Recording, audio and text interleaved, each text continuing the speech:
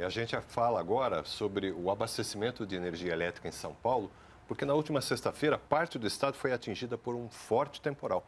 Muitas árvores caíram e danificaram o sistema de distribuição na capital e em 23 municípios da região metropolitana. Pois é, Roberto, cerca de 2 milhões de consumidores ficaram sem energia elétrica durante todo o fim de semana. E a repórter Vanessa Casalino atualiza essa situação para a gente, ao vivo, direto de São Paulo, e conta com o que o governo federal tem feito para resolver essa questão. Conta para a gente onde você está, Vanessa, quais as informações.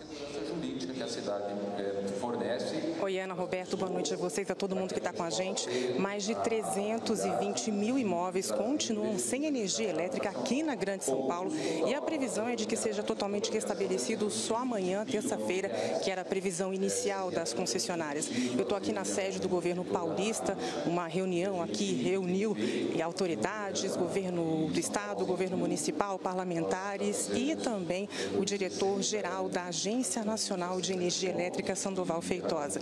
Essa coletiva terminou com mais de duas horas de atraso, eles trataram aí do problema que afetou aqui São Paulo e também medidas para evitar que isso aconteça no futuro. Segundo o diretor-geral da Agência Nacional de Energia Elétrica, assim que ele soube do problema no sábado, entrou em contato com as concessionárias de São Paulo para garantir a realização das provas do Enem aqui em São Paulo com energia elétrica. Ele ponderou também nessa reunião que, apesar de essa concessão de energia ser uma concessão federal, é preciso que Estado e município atuem em conjunto em situações como essa. Então, o Corpo de Bombeiros, Defesa Civil e autoridades de trânsito precisam atuar de forma conjunta para evitar um apagão deste tamanho. E o Ministério da Justiça deu um prazo de 24 horas para que a Enel, a concessionária de energia aqui da região metropolitana de São Paulo, explica esse imenso apagão que atingiu quase 2 milhões de pessoas. O governo quer saber, por meio da Senacom, a Secretaria Nacional do Consumidor, quais são as medidas para o pronto restabelecimento, que já não aconteceu, quer saber sobre os canais de atendimento para o consumidor e ampliação desses canais em situações como essa de um apagão extremo. E disse ainda a Senacom que todos os consumidores prejudicados vão ser ressarcidos. Acompanhe. Tem muitas reclamações aqui na Senacom e nos PROCONs.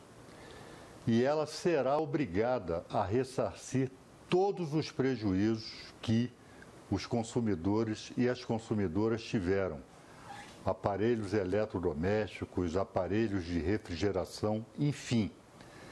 Todos esses prejuízos devem ser cobrados da empresa e devem ser ressarcidos obrigatoriamente. A Enel vai ter que prestar esclarecimentos sobre o que aconteceu, que medidas prévias ela já havia tomado para mitigar possíveis transtornos por conta de catástrofes naturais e ela vai ter que explicar que medidas está adotando para mitigar esses prejuízos que a população paulista teve por conta desse apagão.